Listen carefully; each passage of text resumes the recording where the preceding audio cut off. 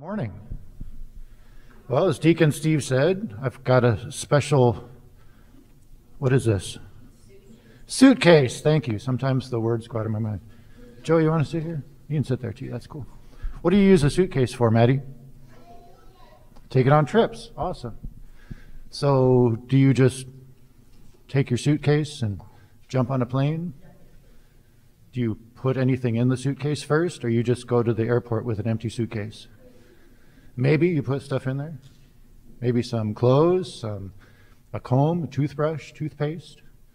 You prepare for your trip, right? You don't just go with an empty suitcase. Well, in our gospel reading today, we heard about Jesus preparing for a trip that he was going to take. He, when he was about 30 years old, he went on a three year mission trip.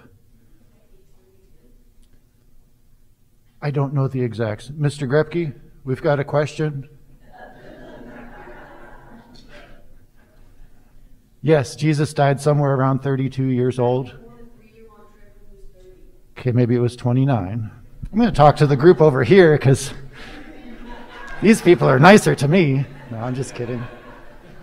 Anyways, Jesus took a trip, a mission trip, and he prepared for his trip. Did you guys catch what he did in preparation? It was in the gospel reading this morning. He got baptized, yeah. Jesus put on hair gel. I'm just surrounded by lovely people this morning with all kinds of fun answers. So, Jesus got baptized in preparation for his mission trip.